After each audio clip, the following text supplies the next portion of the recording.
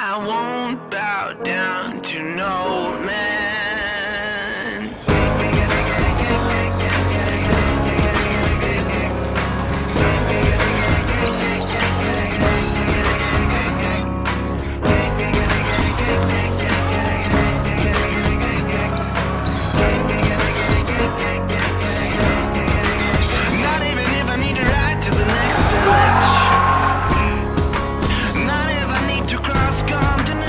Мы сегодня много не реализовали собственных мячей, и поэтому позволили сопернику вот так вот а, в концовку войти.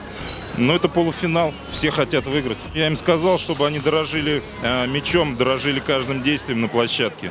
А, И все, что все-таки мы больше, лучше готовы и ну, сильнее на сегодняшний день. Ну, чтобы были а, увереннее, просто увереннее. Любое действие делали увереннее.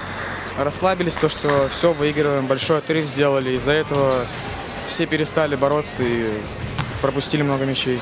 Мне кажется, мы просто немного расслабились, и команда, э, когда забила пару легких мячей нам, э, у нее появилось больше уверенности в себе, и они за счет этого сократили разрыв и даже вышли вперед. У нас было много игр, и все игры были довольно-таки сложными.